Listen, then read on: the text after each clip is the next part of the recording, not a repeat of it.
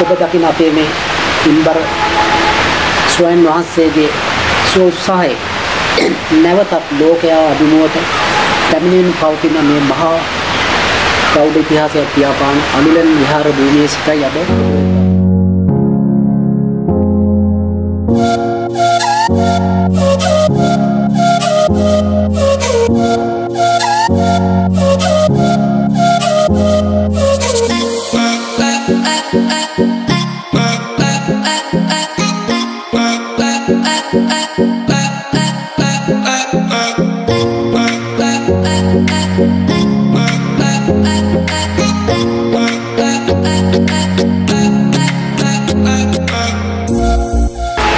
ඔබ දකින අපේ මේ ඉන්බර ස්වයන් වහන්සේගේ සෝත්සාහය නැවතත් ලෝකයා අභිමුවට පැමිණෙන පවතින මේ මහා ප්‍රෞಢ ඉතිහාසයක් පියාපාන අනුලන් විහාර භූමියේ සිටයි අද ඔබ වෙත අපි බොහෝ කරුණු කාරණා අපේ යට ගියාව පිළිබඳ වැළලී යන විහෙර විහාර පිළිබඳ අපෙන් ඈත් වෙලා යන ඔබ මා නොදන්නා බොහෝ කරුණු පිළිබඳව මහා දැනුමුතුකම් මහා උගත්කම් සම්භාරයක් තියෙන අපේ නායක ස්වාමීන් වහන්සේ සමග තමයි අපි මේ පිළිබඳව සාකච්ඡා කරන්න සූදානම් වෙන්නේ.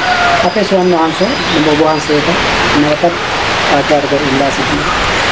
අපි බිඳක් අපේ රටේ මතු පරම්පරාව අපේ උරුමයන් අපේ වියති යන මේ උරුමයන් පිළිබඳව අපේ විහෙර විහාර පිළිබඳව ඔවුන් හමුව තබන්න ඔබ වහන්සේගේ දැනුම උපයෝගී කරන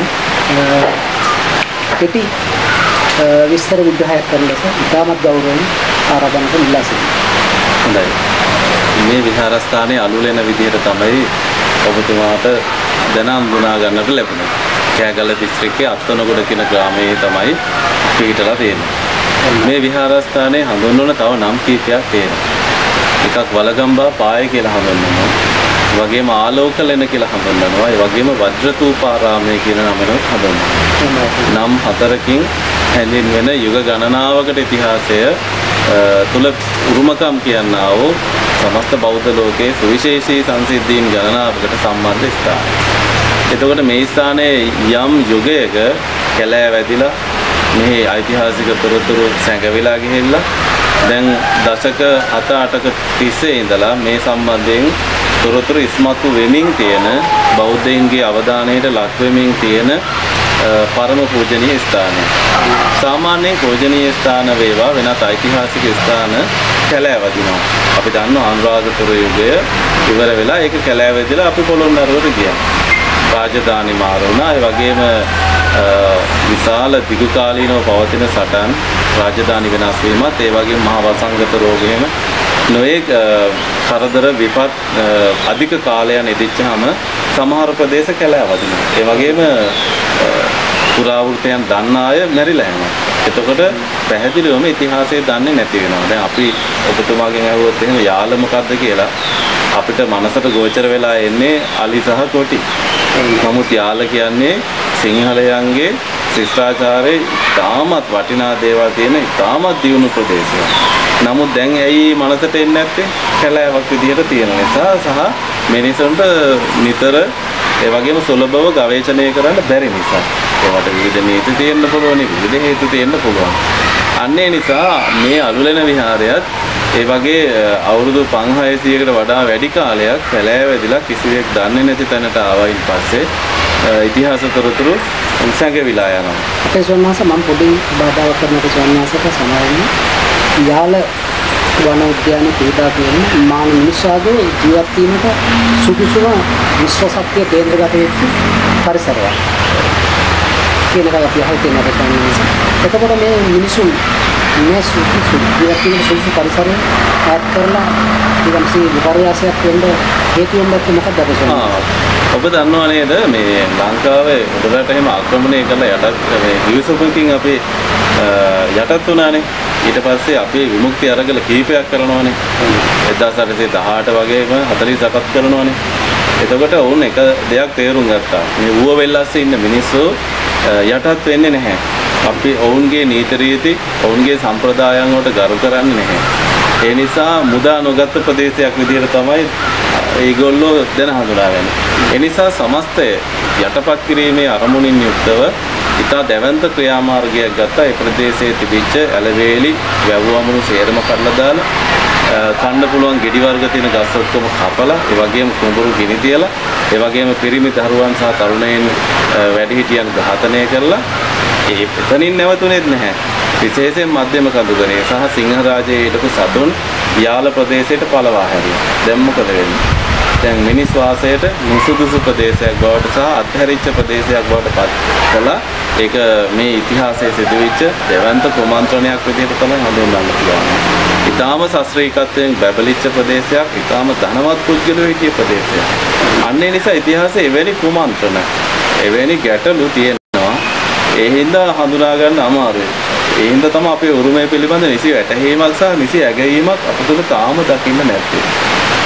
ස්වර්ණස් දැන් අපි යම් කරුණු රූගත කිරීමකට උපදේශවල අපි යනවා අවදාන ස්ථාන වලට ඒක රජයේ අපි රටේ නීතියට බොහොම ගරු කරනවා නීතියේ යටත්ව තමයි මේ සියලු දේ කරන්නේ අපි මොකටද කිසි දෙයක් කරන්නේ අපේ නාලිකාව අපිට ඒ වෙලාව අවස්ථාවලදී අපිට යම් වැඩසටහන් වලදී මායින් සීමාවලදී අපිට ගත ගන්න ආරම්භ වුණා මේ විහාරස්ථාන පොළවට සමතලා වෙලා නටබුත් වෙලා ඒ ජනසු ජනගහනය තිබිච්ච මිනිස්සු වාසය කරන උපදේශකේ ඒ මිනිස් කුල්පත්න වරසකින් හැර ඉතින් ඒක තමයි ඉරුමියන් ඉතිහාසයේ තියාපානවාද මහ පොළොවට සමතලා වෙලා විනාශ වෙලා ගිහින් ඒ සියලු දේම පරිහානියට පත් වෙලා තමයි අපිට උරුමය ගැන කතා කරන්න සලකුණක් විදිහට තියලා ගිහිල්ලා තියෙන්නේ.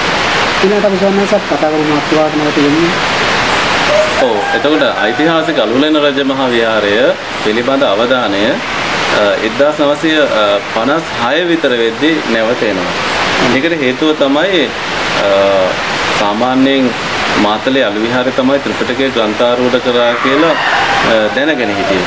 නමුත් මේ මතවාදයේ පිළිබඳ ගැටලුකාරී තත්ත්වයන් උදා වුණා. විශේෂයෙන් සෙනරත් පරණවිතාන මහාචාර්යවරයා 1956 දී ලංකා ඉතිහාස සංග්‍රහය කියන ග්‍රන්ථයේදී පැහැදිලි සටහනක් තේනවා මාතලේ අලු විහාරයේ ත්‍රිපිටකයේ ග්‍රන්ථාරූඪ කළාය කියන එක පිළිගැනීම අපහසුයි මොකද මූලාශ්‍රවල එවැනි තොරතුරක් නැහැ කියලා.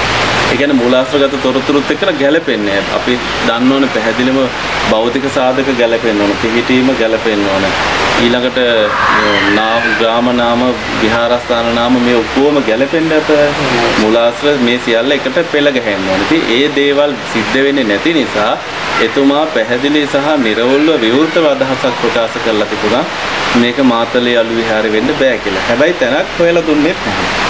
හැබැයි 1995 දී පුරාවිද්‍යා චක්‍රවර්ති එල්ලාවල මේධානන්ද ස්වාමීන් වහන්සේ ලංකාව පුරාම ගවේෂණය කරද්දී මේ අලුලෙනත් ගවේෂණය කරලා අදාළ සාක්ෂි ටික පෙළගස්වලා තර්කානුකූලව පැහැදිලිව නිර්වුල්ව ප්‍රකාශ කරා කෑගල්ලේ අලුලෙනේදී තමයි ත්‍රිපිටකය ග්‍රන්ථාරූඪ කිරීම සිද්ධ වෙන්නේ කියලා. එතකොට ඒ මතවාදය පුවත්පත් ආදී නොයෙක් මාධ්‍යයන් තුලින් උන්වහන්සේ සිද්ධ කරා එහි ප්‍රතිඵලයක් විදිහට අලුලෙනට ශාස්ත්‍රීය ගවේෂණයෙහි යෙදෙන අයගේ යම් අවධානයක් යොමු වෙන්න පටන් ගත්තා. එහිදී විශේෂයෙන්ම ජී.ආර්. ගුණවර්ධන බණ්ඩ මහත්මයා එතුමා අධ්‍යාපන අධ්‍යක්ෂකවරයෙක් විදිහට කටයුතු කරපු සෑහෙන ගවේෂණ ප්‍රමාණයක් කරලා විශේෂයෙන් මේ සතර කෝරළේ ඉතිහාසය පිළිබඳ ඉතා ගැඹුරින් අධ්‍යයනය කළා අලුරෙන පිළිබඳ ශාස්ත්‍රීය පර්යේෂණ ගණනාවක් තුළින් කරුණු අධ්‍යයනය කළා ජාතියට දායාද කරලා තියෙනවා.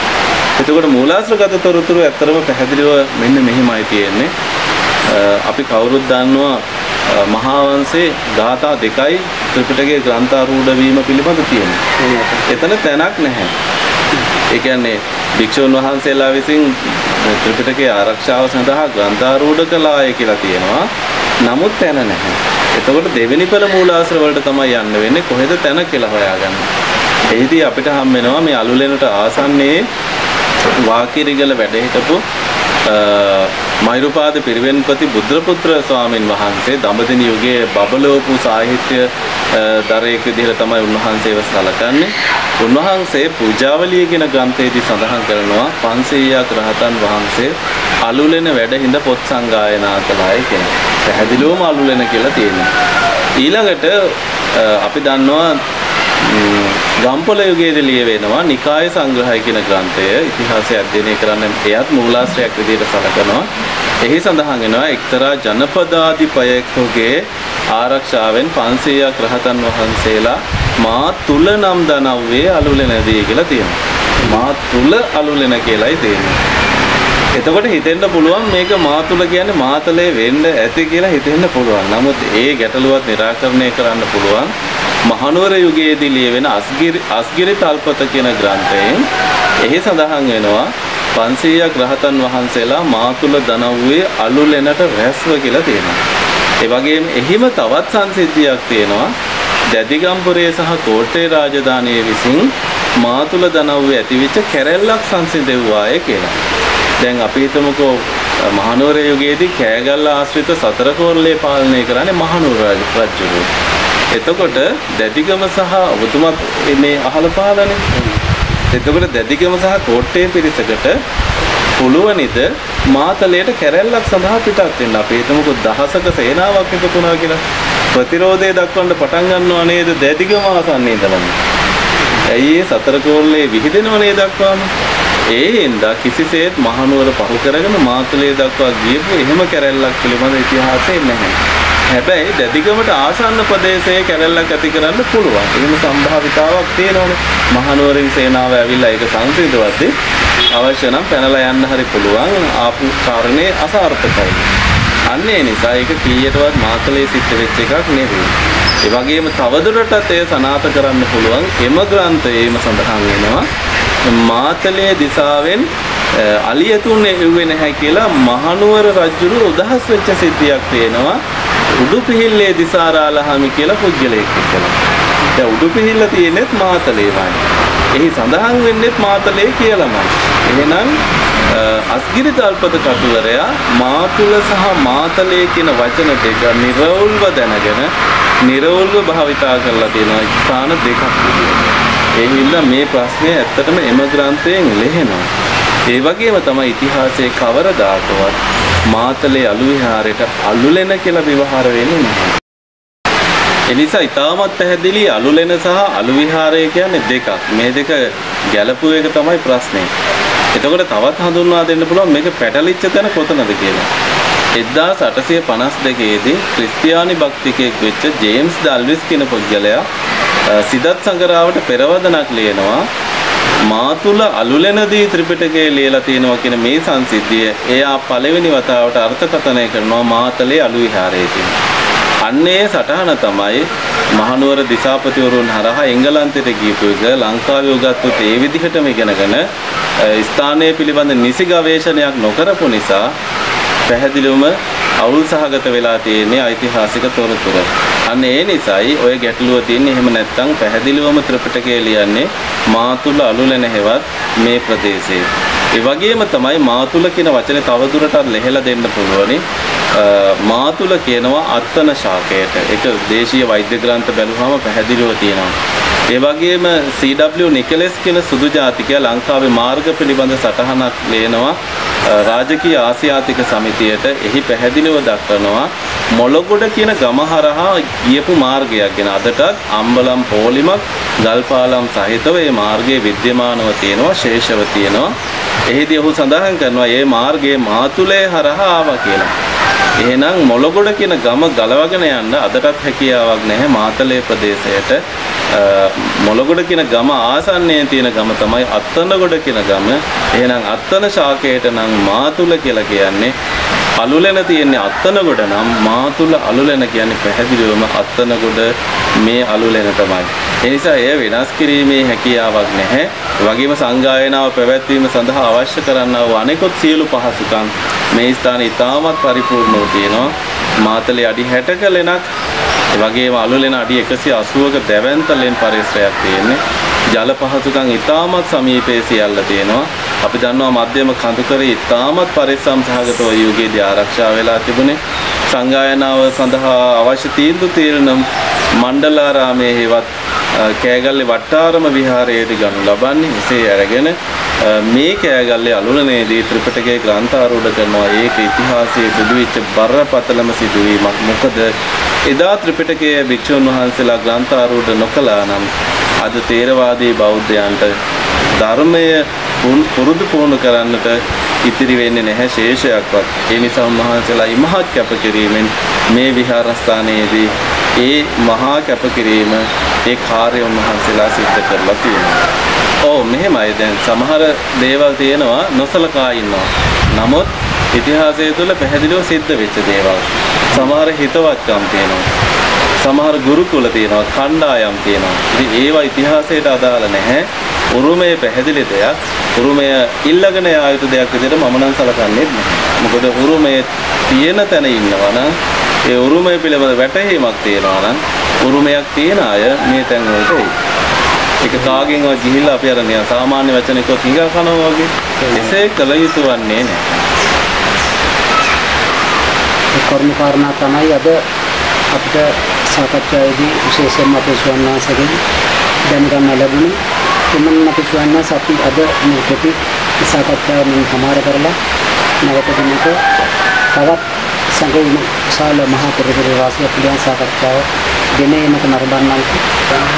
අද ඔබතුමාට ආශිර්වාද කරන්නම් මේ සිංහලයාගේ සැබෑ උරුමය ලෝකයට තතු පරිදි ලබා දෙන්නට සියලු හැකියාව ශක්තිය වාසනාව ලැබේවා කියලා.